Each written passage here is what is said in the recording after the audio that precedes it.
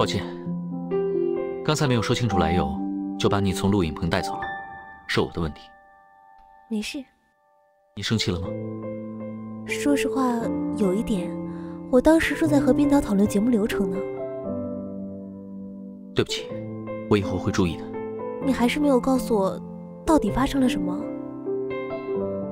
其实这件事情，你知道了并不好。嗯。现在必须要告诉你了，听着，在没有解决前，务必不要声张。嗯，我保证。今天早上，局里接到了匿名电话。匿名？预告今天在录制现场会有炸弹，警方已经包围了现场，正在排查。炸炸弹？所以说现场的人都会有生命危险？理论上是这样的。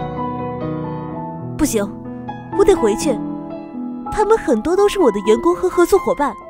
先不要急，把你带走也是因为要和你说清楚这件事情。我不会害怕的，一定配合。疏散人员。我们需要你的帮忙，正如你说的，他们都是你的熟人。好，原来是这样，是我误会你了。没关系。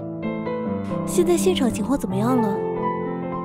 暂时并没有排查到异样，而且我们也查不出那通电话的来源。